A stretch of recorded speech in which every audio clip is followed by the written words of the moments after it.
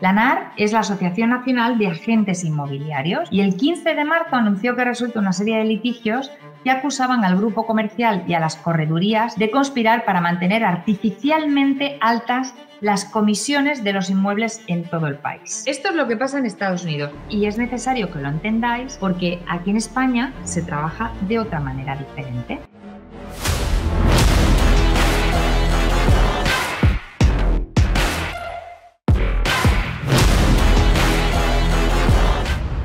En España, cuando tú pones tu casa a la venta y se la das a una agencia inmobiliaria, esa agencia inmobiliaria te puede cobrar entre un 3 y a veces un 6, hasta un 6% algunas agencias del precio en el que se cierre la casa. Es decir, si la casa se vende en un millón de euros, la agencia inmobiliaria se lleva 30.000 euros más. ¿Vale? Entonces, eso por un lado. Pero resulta... Y luego hay tarifas, si la casa se vende una agencia te pone un 6% porque dice, oye, que yo soy buenísimo y te la voy a vender en vez de en un millón en más porque soy el mejor, pero te voy a cobrar el 6. Sí, bueno. Te la voy a vender en un millón y medio. Claro. Pues tú dices, oye, pues a lo mejor me compensa pagarle un 6%, que son 90.000 euros, que me, me, la van a vender en más. Eso depende de las agencias. ¿eh? Hay agencias que cobran un 3, hay agencias que cobran un 6, o incluso si es una agencia eh, pequeñita o tiene o tiene, importes más bajo. O tiene mucha competencia, no tiene exclusividad porque la casa la tienen varias agencias inmobiliarias, pues a lo mejor incluso son capaces de bajar ese 3% al 2,5% así. También en el porcentaje tenéis que ver que muchas veces depende del valor de la casa. Valores más bajitos, las agencias a lo mejor pueden llevar un 5, un 6 un 7% porque vender una casa de 50.000 euros pues si te van a cobrar un 3, son 1.500 euros. De verdad que es que el trabajo de vender, captar las fotos, hacer las visitas y eso, pues no sé si compensa los 1.500 euros. Pero, hacer un poquito más. Pero cuando ahora vamos los compradores o los representantes de compradores a comprar una casa, si tú como comprador vas a visitar una casa, has visto un anuncio precioso, de una casa que te, a priori te encaja, te gusta, las fotos están muy bien, la zona es la que tú buscas, las características, etcétera, etcétera, has dicho, oye, pues voy a poner una visita. Venga, voy a llamar a la agencia y me voy a ir a verla porque a lo mejor me encaja. Eh, mire, quería poner una visita eh, para tal día. Venga, perfecto, nos vamos a la visita. Y el mismo día de la visita, cuando sales de la visita o incluso antes de hacer la visita, el comercial te dice, la gente inmobiliaria te dice, eh, vale, me tienes que firmar el parte de visita como que nada, no es nada, ¿eh? No te preocupes porque simplemente que has visitado la casa conmigo, que no puedes saltarme como agencia, lógicamente, te lo dicen de una manera más bonita, y sobre todo que me tienes que pagar el 3% eh, de honorarios en el caso de que compres la vivienda, el 3% del cierre pactado. Entonces, mucha gente ni se lo lee. ¿Verdad, Rodolfo? Sí, totalmente. Cuando te da un documento donde va tu firma y va tu nombre, va tu DNI, tienes que leértelo, debes leértelo, porque estás firmando un compromiso legal. Bueno, pues una vez que firmas eso, obviamente si quieres comprar la casa, te van a cobrar el 3%. ¿Qué pasa? Que en este caso cobrarán el 3% a la parte vendedora y... Te llegan a ti, vas a comprar la casa, te anuncian la casa por un precio y te dicen, no, Además de eso también te voy a cobrar un 3%. y el 3% a la parte compradora. Es decir, que la agencia, en este caso que estamos contando en concreto, se va a un 6% de la casa que vende. Y en concepto te dicen de qué ese 3%. De nada. Bueno, ellos te lo bordan un poco. Nada, te dan un papel y te dicen que por intermediación o por cosas así. Además que esta moda está viniendo desde hace un par de años. de un año. Después del confinamiento más o menos empezaron a salir... Claro, pero ha venido con un mercado de avaricia. O sea, de cuando ya está todo disparado, los precios son caros y tal, de repente la gente es. desde agencias malas es.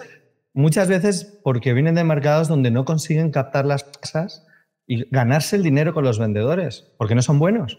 Entonces dicen, bueno, pues si no me lo gano con el vendedor, pues se lo cobro al comprador, pero no se lo cobro. Nosotros queremos que se lo arrancas. Para que veáis un poco la diferencia entre lo que se hace en Estados Unidos, que dentro de una MLS se repartían entre esos comerciales de la MLS, de Remax, de Century, de Keller Williams, ¿vale? Se repartían ese 6% que le cobraban a la parte vendedora y que luego, obviamente, mm, se le repercutía a la parte compradora cuando paga la casa, ¿no?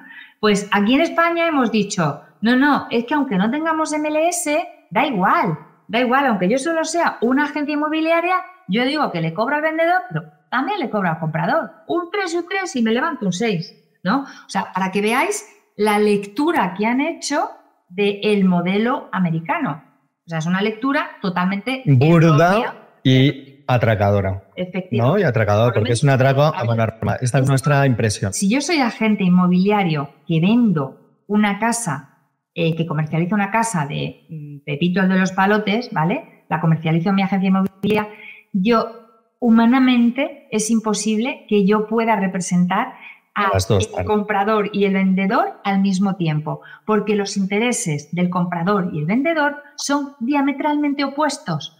Uno no quiere que le engañen, quiere que vaya todo correcto, quiere pagar el precio justo por la casa, etcétera, etcétera, etcétera, y el otro quiere vender la casa al máximo precio posible. En el menor tiempo posible. Solo antes posible, aunque tenga problemas. Es decir, yo estoy en medio no puedo defender a las dos partes al mismo tiempo. ¿Qué es lo que es? Ah, mucha gente, argumenta mucha gente que están intermediando. No puedes. Entonces hay una comisión de intermediación y tú lo anuncias en un sitio y digo, yo soy intermediador, yo me dedico a intermediar entre las partes, pero no puedes eh, ofrecer un servicio a una parte y decir que sí, que le vas a buscar el, el menor precio posible, que le vas a hacer un trabajo de due diligence jurídica y técnica de la casa, cuando con el otro lo que has acordado es que si la vendo en una semana y al doble de su precio, mejor, porque el porcentaje que yo me llevo, cuanto más venda la casa, mejor para mí. No tiene sentido. Si tú como agencia quieres montar un sistema eh, basado en una comisión al vendedor y otra al comprador, estupendo, anúncialo. Anúncialo en tu agencia, yo trabajo así. Cuando vayas con un vendedor le dices, oiga, y yo luego le voy a cobrar también al comprador, que ese dinero no le va a llegar a usted. Pero, me lo voy a quedar yo. Como agencia es fenómeno, tú lo anuncias. Pero luego la proporción del servicio, o sea, la comisión tiene que ser proporcional, que es lo que te dice un juez. Oiga, usted, la supuesta intermediación no le puede cobrar un 3% cuando su trabajo ha sido ir con este señor un día a la cita una hora y hacerle firmar un mandato. Eso no es, no es. Aquí mucha gente lo, lo pone como, oye, yo he firmado intermediación. Intermediación es otro contrato. Tú has firmado que un vendedor Habría que si al vendedor le has dicho eso, en el caso de Valencia, sí que trabajan así, yo le voy a cobrar al comprador. Bueno, pues usted verá. Si el comprador va con un representante exclusivo del comprador, como hacemos nosotros en Luxury Angels, estamos en la obligación de comentarle lo bueno y lo malo de la casa, porque nosotros vamos a cobrar de la parte compradora. Nos importa un pimiento la casa que vayamos a comprar, si se la compramos a un fulanito, a un beltranito, a Remax, a, a, Gilmar o se la compramos a Red Piso. Da igual, lo que queremos es comprar la casa adecuada para nuestro cliente y que no tenga problemas ni ahora ni en el futuro. Y para eso hay que hacer una investigación y hay que ser transparentes. Donde va a ir este mercado es que quien quiera comprar el asesorado tendrá que pagar y habrá personas que dirán, oiga, antes, por ejemplo, en el mercado de Estados Unidos, si tú ibas a visitar casas, pues visitas y el, el Bayer Yen no cobraba nada. Era tú veías 10 casas hasta que vieras una que te gustaba. Entonces, si veías esa y costaba un millón de dólares, el Bayer Yen se llevaba el 2,5, el 3%, lo que hubiera en la MLS. Pero mientras se había visitado 10 casas, no cobraba nada. Ahora, si tú vas a querer que alguien te represente, te va a decir, o quieres que te cobre por las visitas, si tú quieres que yo te acompañe a 100 visitas, mi trabajo tiene un precio. O te cobro por un servicio establecido, unos honorarios fijos, o por unos honorarios fijos que comprendan estos servicios. Entonces, cuando nos hablan de cuáles son vuestros honorarios, pues depende. No es lo mismo buscar eh, un palacete para Pedro Sánchez, el presidente del gobierno, que quiere confidencialidad y nos ha pedido varios, que buscarle, que es broma, ¿eh? que, que buscar, yo qué sé, pues una choza en un pajar. Pues, y luego hay cosas que es, pues casas más pequeñas o de importes más baratos, hay más oferta que determinadas casas en barrios más exclusivos que hay Depende también de si tenemos que buscar en una sola zona o tenemos que buscar en tres zonas. Depende de esos criterios de casa. Pues si nos pides que encontremos un chalet con piscina climatizada, con cancha de pádel eh, y con dos despachos, pues será más complejo que encontrar una casa de tres dormitorios con dos cuartos de baño. Claro.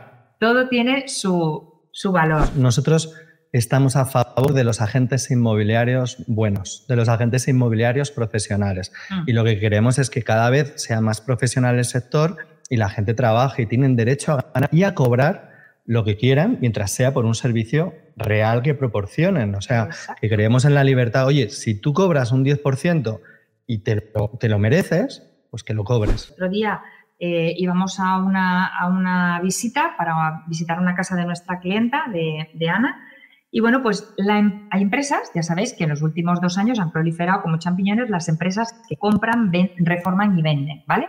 Eh, compran la casa a un precio muy baratito, pues eh, o, bien en subastas, o bien eh, a personas mayores, o, o, de herencias, etcétera, etcétera, lo compran a un precio muy competitivo porque llevan todo en cash, ¿vale? O compran un paquete de viviendas las reforman porque tienen su propia empresa de reformistas, o la misma empresa que es una patrimonial, capta la casa, la compra, reforma la casa con su empresa de, albañilería, de carpintería, de no sé qué, la deja bonita, la muebla también porque tiene unos precios especiales con, las grandes eh, plataformas de, de muebles, ¿no? de mobiliario. Y luego encima la vende pero es que por venderla también te cobra un 3%.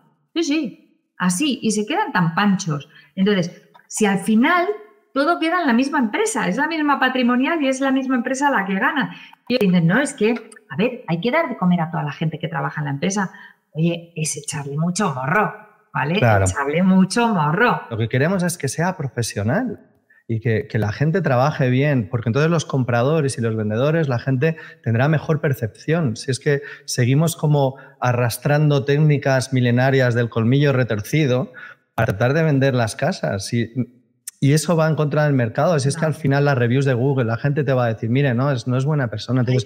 no os enfadéis. Todos los, todos los comentarios que vemos que dicen, no, me niego, yo hago lo que quiero, yo le cobro a quien me da la gana, pues esto es tradición, pues se hace así siempre. Digo, es costumbre. Pues sí, pero hay costumbres malas. Mira, hay un tema que hablaba justo de la ley de alquileres y veía un comentario en LinkedIn y que hablaba del hecho de que dentro de la ley de alquileres se ha cambiado que las comisiones pasen de, cobrarse antes, se le cobraban al inquilino que iba a alquilar, le decían, bueno, además de cobrar el alquiler vas a pagar a la agencia. No, se cobraban doble comisión. Bueno, pero y las que no podían cobrar doble, porque eran mercados más ajustados, solo se la cobraban al... Se llegó a pagar doble comisión y los propietarios no ponían ninguna objeción. Es decir, el propietario de la vivienda pagaba una mensualidad masiva a la agencia y luego venía el inquilino y pagaba otra mensualidad masiva a la agencia, se levantaban dos.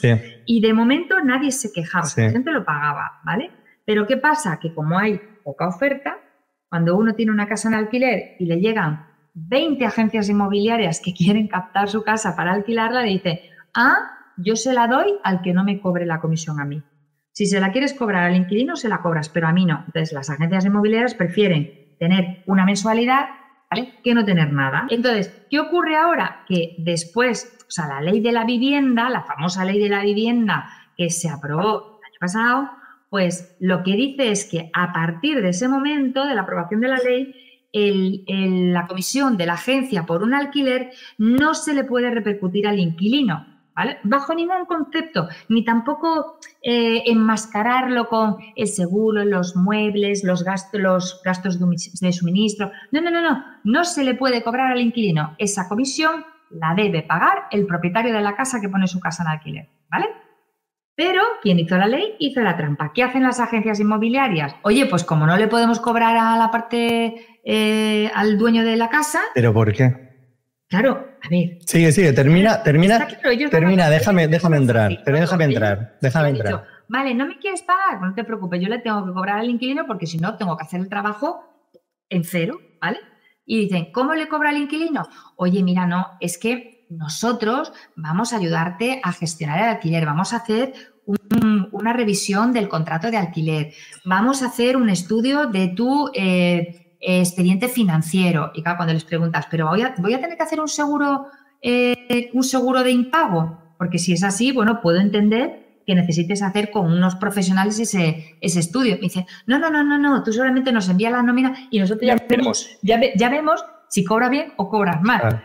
Y por eso te cobran una mensualidad masiva. O sea, a mí eso me parece un robo a mano armada. Y además un incumplimiento de la ley que nos guste o no nos guste, ahí está, y hay que cumplirlo. La ley de arrendamientos eh, no nos gusta la mayor parte de la, de la, gente del mundo inmobiliario porque nos parece que está hecha a capón y que lo que ha hecho es subir los precios al final. O sea, que, que los vendedores tengan, los arrendadores, más miedo, no saquen las propiedades y que saquen, diga, si lo, si lo alquilo le pego un precio para que me compense por si alguien se me queda dentro de Ocupa o lo que sea. Entonces, que está, no nos gusta, pero dicen, no podemos negar que haya cosas que están bien, como es que si tú vas a alquilar una casa y tú como arrendador eh, quieres que te den un servicio y que otra persona te la alquile, haga fotos, lo ponga en el mercado, vaya acompañando a la gente a hacer visitas, coja informes de esas personas de nóminas, te lo pase y te haga una selección de quién es, le redacte el contrato que esté conforme a la ley, te lo diga todo hecho para que tú solo tengas que firmar, pues te tendrá que cobrar y tendrás tú que pagarles el servicio. No, lo que no puede ser es que estas personas dicen, nosotros en el mundo inmobiliario digamos, como no soy capaz de cobrarle a quien me pide el servicio, o sea, a quien quiere comprarme el coche no soy capaz de cobrarle el dinero. Y se lo voy a cobrar a otro. A uno que pasa por ahí le digo, ¿y tú le vas a pagar el coche a este? Pues dice, mira, se lo cobramos al que está en situación de indefensión, que es el que tiene que alquilar y está pagando la bicoca. Y dice, sobre todo cuando le estás dando un servicio que a lo mejor va a estar alquilado en la casa 3, 4 o 5 años, son 36 a 54 mensualidades de 54 mensualidades, vendedor, arrendador, que te cobren una. O sea, lo que decía es, no le vamos a cobrar a los más, a los que ganan el dinero. Hay que ser un poco avaricioso, es lo que decía, ¿no? Y, yo creo que debemos ser justos y eso entra dentro de la profesionalidad de, este sector. Claro. Hagamos las cosas bien, cada uno que haga su trabajo, oye, y que cada uno pague el servicio que se le está prestando. Y, a quien se lo está pidiendo.